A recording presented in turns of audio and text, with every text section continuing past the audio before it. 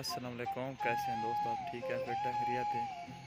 मैं करता हूँ, सब दोस्त आपसे खरीत से होंगे। ये हमारा कॉलेज है ये कॉलेज का माहौल है। ये है डिग्री कॉलेज। खूबसूरत है। इतने भी खूबसूरत है। ये degree block government college, Jampur.